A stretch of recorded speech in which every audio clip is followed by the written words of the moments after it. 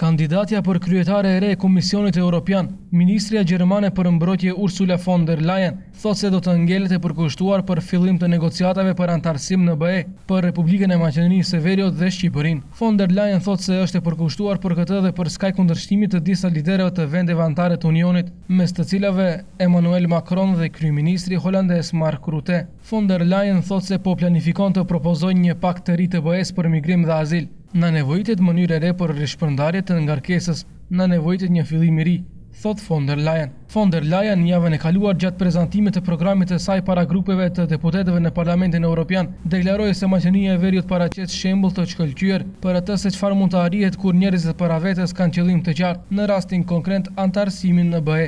Ballkani Perëndimor duhet të kuptohet më seriozisht, ndërsa Maqedonia e Veriut është shembull për arritje pozitive, tha von der Leyen. Sa i përket marrëveshjes së Prespës në fillim të muajit në takim me kolegun e saj grek Evangelos Apostolakis, von der Leyen theksoi se dokumenti paraqet marrëveshje të vërtetë europiane. e bazuar në vlerat që ka Europa. Thellësisht e respektoj guximin e dy vendeve të shkojnë përpara me Marrëveshjen e Prespës. Kompromiset asnjëherë nuk janë të lehta, por e hapin rrugën drejt një të ardhme më të mirë.